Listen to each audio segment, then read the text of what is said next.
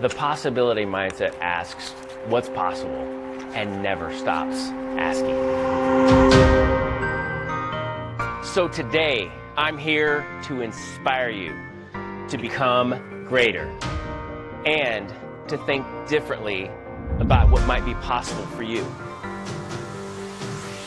Whether you've just had your best year, I know that's some of you, or if you've just had your most challenging year, I know that's others of you. Something greater is always possible.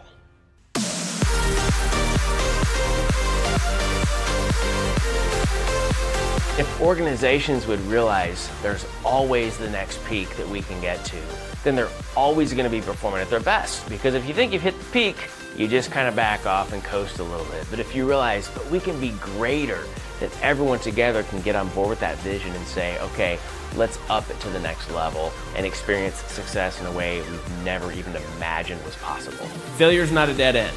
Failure is just a fork in the road. And we choose which direction we're going to take in that fork. Because, see, you can choose to let failure make you, not break you, hone you, not own you, refine you, not define you. But you have to choose. So when you hit these hard points in the road, May the forks be with you.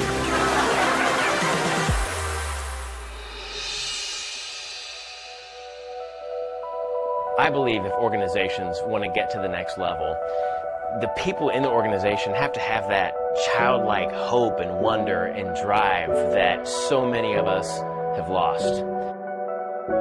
And that's exactly what happened to me. One day, totally out of the blue, America's Got Talent reached out to me and said, Hey, Devin, we found some of your videos on YouTube. We love your stuff.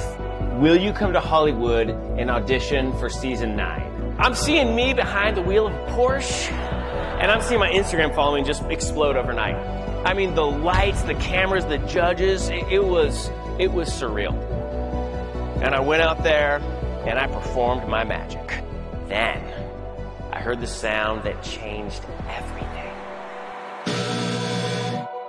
I got buzzed. That was the end of America's Got Talent for me. I got kicked off. I didn't make it through the audition. The highest point of my career became the absolute lowest. Just like that. But the possibility mindset asks, what's possible? And never stops asking.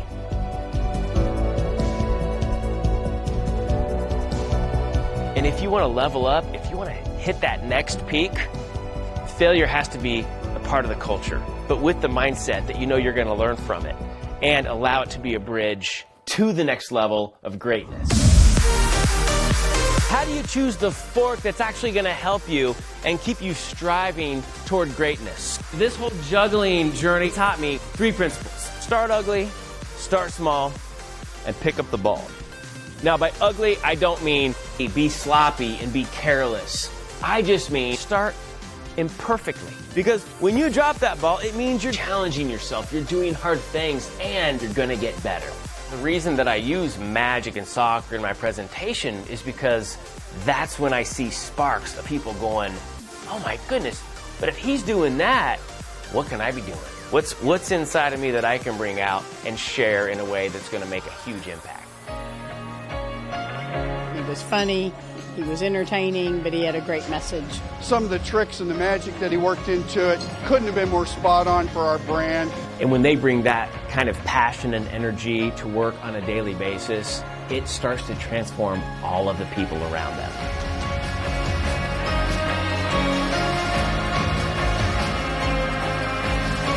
It's never too late to pick up the ball and discover what's possible for you. Because remember this something greater is always possible.